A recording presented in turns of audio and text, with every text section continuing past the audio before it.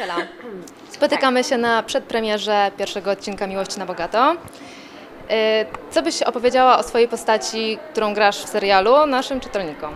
Mm, Postać serialowa tak naprawdę chyba niczym się nie różni od, od prawdziwej, takiej rzeczywistej Marceli, poza kilku, kilkoma tam szczegółami, bo nie jeżdżę BMW, nie mieszkam w apartamentowcu, jednak jestem modelką w życiu prywatnym i, i jest, i mniej więcej mam taką samą osobowość, charyzmę, temperament, taki jaki mam w życiu prywatnym, taki mam w serialu.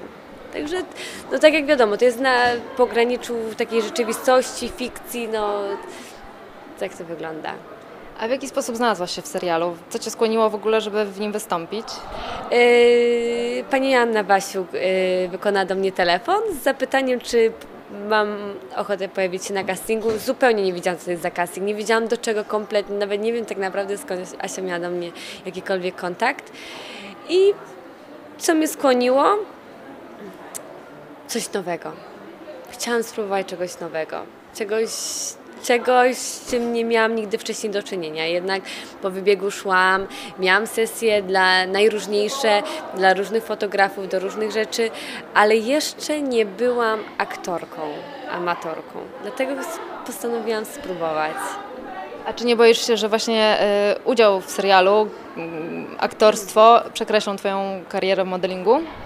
Obawiałam się y, tego, że mogłoby przekreślić, jednak myślę, że gdybym nie spróbowała, to też żałowałabym. A teraz, jak już mamy tam kilka odcinków nagranych ze sobą, w ogóle nie żałuję. A tym bardziej po obejrzeniu dzisiejszego, dzisiaj pierwszego odcinka. To już w ogóle wiem, jak to wygląda i jestem jak najbardziej zadowolona. Zresztą y, bycie modelką to też jest y, pozowanie, to też jest tak jakby troszkę jakaś forma aktorstwa mi się wydaje, bo muszę się wczuć w rolę, muszę prób- spróbować odegrać pewną rolę, prawda? Także myślę, że to jest to samo. A czy coś jest trudniejsze? Modeling? Występowanie przed fotografem, czy przed kamerą na planie filmowym? Myślę, że przed kamerą jest trudniej na planie filmowym, bo tu już troszkę więcej emocji muszę włożyć. E, No właśnie, słyszałam, że e, nie macie dokładnego scenariusza, nie macie wypisanych ról, czyli musiałaś improwizować przez cały czas. Nie, to nie była improwizacja. Wiemy, jak ma wyglądać wszystko i... Tylko no nie mamy scenariusza napisanego, prawda? Masz to powiedzieć w tym momencie, a to później. I dlatego też jest troszkę trudniej, bo my musimy, musimy próbować w tą stronę, w tamtą stronę siebie po prostu spróbować. A jak Ci się w ogóle pracowało z ekipą e, i w ogóle no, jako debiut filmowy, no to musiało być faktycznie ciężko, ale czy gdybyś dostała kolejne propozycje, zgodziłabyś się? Eee, ale z Endemola, gdy, znaczy drugiego se- w filmie w ogóle, myślę, że zgodziłabym się. Jeżeli byłaby fajna produkcja i coś, co mogłoby tylko zadziałać na moją korzyść, to zgodziłabym się.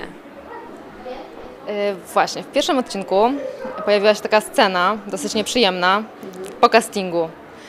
E, Jak wiadomo, właśnie już była raz afera z modelkami związana z wykorzystywaniem modelek, e, wysyłaniem ich jako e, seks modelki, prawda, jako właściwie prostytutki. Czy zdarzały Ci się takie propozycje? Czy dostałaś kiedyś coś takiego?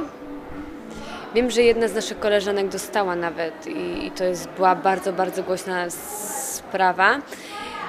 Y, Jednak y, no, dzięki Bogu mieć coś takiego póki co minęło, naprawdę. Ale ja jestem ostrożna, ja nigdy sama nie próbuję, tylko zawsze dowiaduję się albo przez agentkę, no też mam przez, y, od tego agencję, prawda, żeby mnie się krzywda, oni są odpowiedzialni za mnie. E, No właśnie, no, nie, nie mogę też nie zapytać o program Top Model. Jak wiadomo, doszłaś bardzo daleko. E, Czy gdybyś miała na przykład drugi raz decydować, czy po raz kolejny zdecydowałabyś się na udział w show?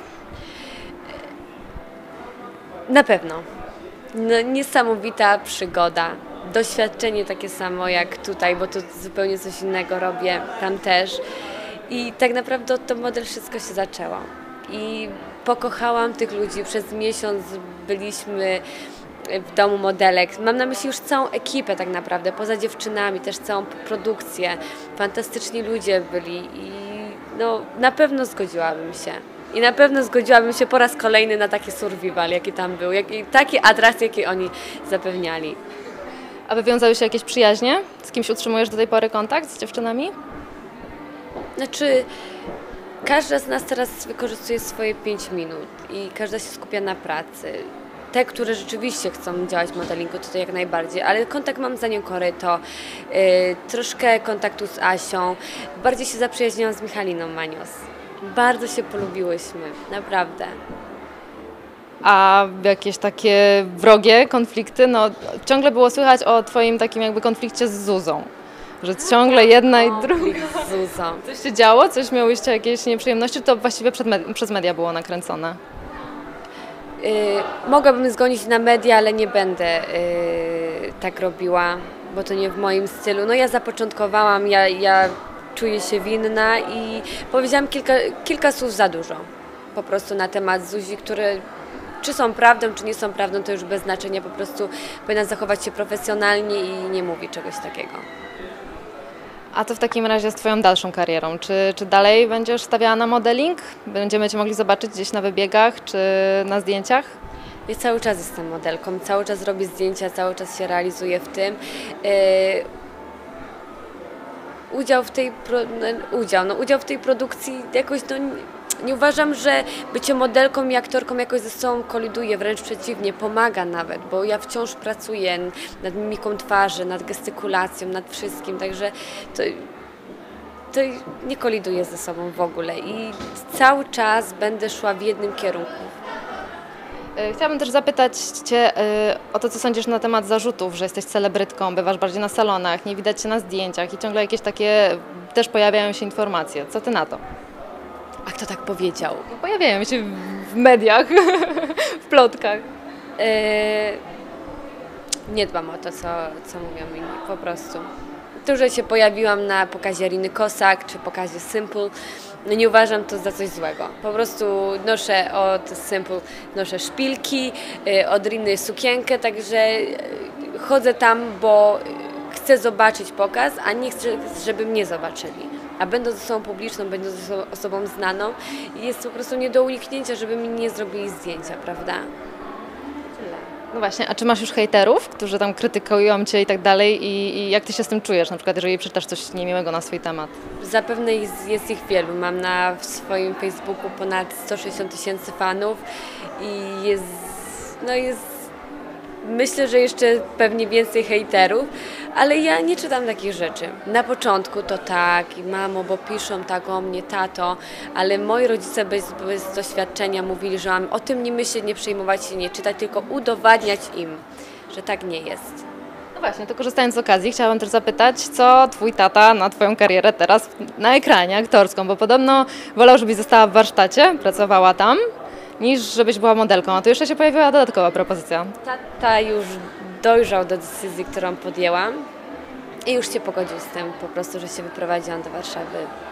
Mamy cały czas kontakt ze sobą, bardzo jestem blisko rodziców, y, tak jak wszyscy wiedzą zresztą, bardzo zawsze byłam, y, dobrze żyłam z rodzicami i pomimo tego, że mieszkam 200 ileś kilometrów od rodziców, to codziennie z nimi rozmawiam i codziennie rozmawiam z moją siostrą.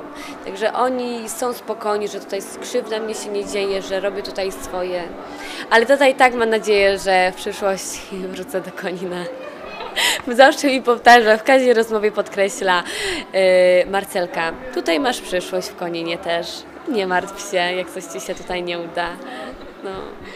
No właśnie, a nie wiem, czy słyszałaś, y, że Justyna Pawlicka dostała propozycję rozbieranej sesji. Y, Czy gdybyś Ty dostała taką propozycję, zgodziłabyś się? Dostałam propozycję. Opowiedz nam o tym. Dostałam propozycję y, za dużo, dużo lepsze pieniądze. No muszę powiedzieć prawdę, przepraszam. I Czy możesz zdradzić? No niestety nie, no o takich rzeczach się nie mówi, ale razy cztery czy pięć można nawet to zrobić. y, I y, do Playboya. Na tą chwilę nie, nie, nie zdecydowałam się. Uważam, że to jeszcze nie ten moment. Ale w przyszłości? W przyszłości y, nie mówię nie, nie mówię tak, no sama zobaczę, jak się wszystko ułoży. Jednak na tą chwilę nie jestem gotowa, żeby mieć nagą sesję rozbieraną. A czy na przykład y, twój partner miałby coś przeciwko, czy, czy obecnie jesteś samotna? Obecnie jestem samotna i myślę, że gdybym miała partnera, to miałabym takiego, który nie miałby nic przeciwko, tylko byłby na tyle dojrzały i wyrozumiały i powiedziałby, że no, decyzja należy do mnie. Rozumiem. A w jaki sposób byś zachęciła naszych czytelników do oglądania serialu, w którym występujesz? Myślę, że mogę zachęcić swoją osobą. Po prostu. I nawet ci hejterzy będą oglądali, będą chcieli zobaczyć, jak ja sobie radzę.